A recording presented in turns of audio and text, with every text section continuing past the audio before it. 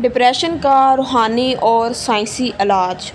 हमारे माशरे में ख़ुदकुशी की शरह तशवीशनाक हद तक बढ़ गई है। इसकी वजह डिप्रेशन है। ये बीमारी माशरती इस्तेसाल गुर्बत में इजाफे मज़हब से दूरी, ख़ानदानी निज़ाम के टूटने और इंसानी चाहतों में कमी के बायस तेज़ी से फैल रही है।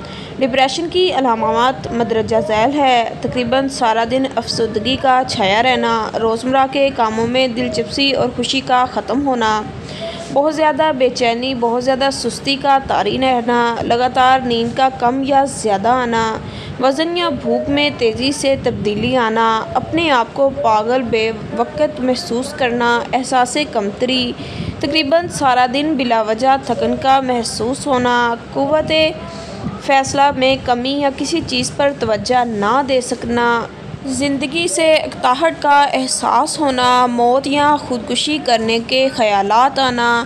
अगर पहली दो अलामात में से कम अज़ कम एक और बाकी सारी अलामत में से कम अज़ कम चार अलामात दो हफ़्ते या इससे ज़्यादा अरसा से मौजूद हों तो आप डिप्रेशन में मुबतला हैं। इनके अलावा बाज़ मरीज़ों में दूसरी अलामत भी पाई जाती हैं, जल्द गुस्सा आना, चक्कर आ जाना, तन्हाई पसंद मायूसी मुस्तबिल तारीख महसूस होना, शोर शराबा बर्दाश्त ना होना, बदहज़मी होना। दिमाग सुन महसूस होना, जहन पर बोझ महसूस होना, अपना अंदर खाली खाली महसूस होना। गनूदगी महसूस करना, किसी से बात ना करने को जी चाहना, डर महसूस होना। ये महसूस होना कि जैसे सब कुछ ख़त्म हो गया है। क़वत अदारी इंतहाई कम हो जाना, लोगों को मिलने से कतराना, काम अधूरा छोड़ देना, रोने को जी चाहना, महफ़लों में जी ना लगना, गर्दन और पट्ठों का खिंचाओ किसी भी काम में बहुत सा बदकदमी ना होना, आँखें भोजल रहना। डिप्रेशन से बचाओ।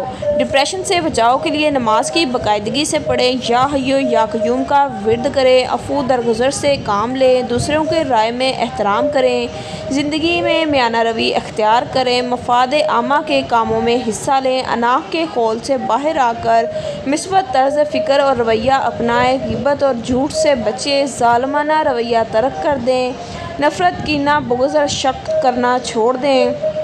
किसी को मुस्करा कर अखलाक से मिलना भी नेकी है। बाकायदगी से मराकबा करना डिप्रेशन से बचाव ही नहीं, बल्कि इसका इलाज भी है। डिप्रेशन का रूहानी इलाज ये है कि या कदीरो या वहाबो या वदूदो एक तस्वीर सुबह शाम अवलाखर दुरुशरी दुरुद इब्राहिम तीन तीन मरतबा पढ़ कर पानी पर दम करके पिए या पिलाएँ। 21 दिन तक मतवातर ऐसा करने से इन डिप्रेशन ख़त्म हो जाएगा। आपको चाहिए कि अपने आसपास नज़र रखें कि एक शख्स जो महफ़लों की जान था, हर काम में पेश पेश था, ज़िंदगी में साबित कदमी से आगे बढ़ा था, वो अचानक मंजर से गायब हो गया। आपसे मिलने से कतराने लगा, फ़ोन पर बात भी नहीं करता, मिलने भी नहीं आता। इसका रोज़मर्रा दिलचस्पियाँ और काम कम या ख़त्म हो गए हैं तो वो डिप्रेशन का शिकार है। ऐसे में यार दोस्त भी मिलना छोड़ देते हैं और कहते हैं कि वो हमें मिलने नहीं आता तो हम इससे मिलने क्यों जाएँ?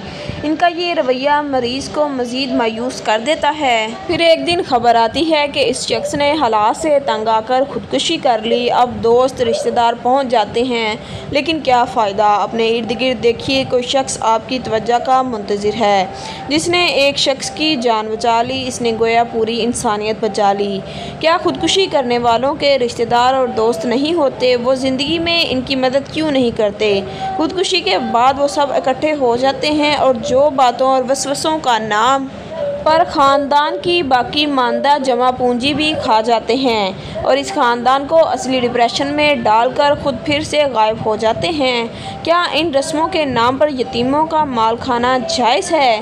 वीडियो अच्छी लगे तो लाइक करें, दोस्तों के साथ शेयर करें और मेरे चैनल को लाजमी से सब्सक्राइब कर लें।